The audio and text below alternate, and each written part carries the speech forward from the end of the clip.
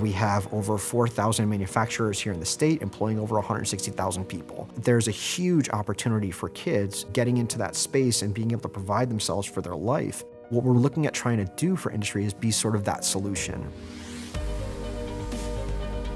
We have a tremendous program that allows seniors in high school to be able to take college courses leading to an advanced manufacturing certification.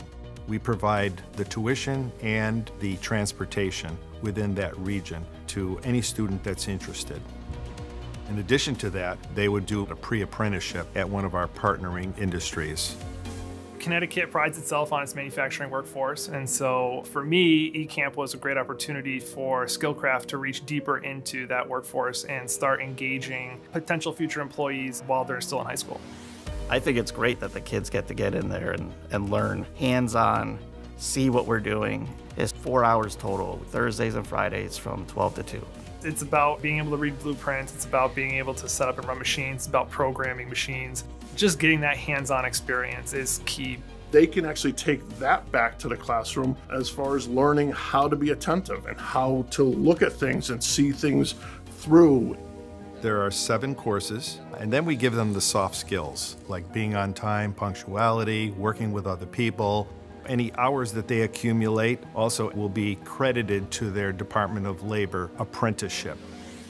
The opportunity for students to be dual enrolled in a college course that gives them a chance to get a foot in the door with a manufacturer without having to pay for it is invaluable. This program offers that opportunity to everybody, regardless of what school system you are coming from.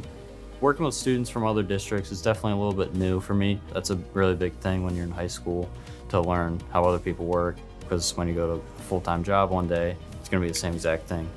They're getting those 21 credits under their belt and they're getting connections in industry. If you're thinking about manufacturing or if you're thinking about engineering, it's really appealing to come here because you get a sense of what's happening on the ground in industry, how does it operate, and then if you want to go and get your engineering degree, great there's anywhere you can go with in the manufacturing world. It's very professional and it's very technologically based. It's very clean and organized.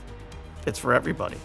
From the aerospace side to the commercial side, you know, government side, and then all the types of manufacturing. There's just so much you can do and so much you can learn. It's one thing to learn about it in class all day, but once you're actually out there, you can actually decide like, okay, this is what I want to do for the rest of my life. We're setting students up for a career that doesn't mire them with student debt in the long run and gives them a career path right out of high school. They don't necessarily need to go to college to have these amazing jobs that pay really great money. It's really critical for all of us in the manufacturing community to make this investment into the next generation and to start training all of the students.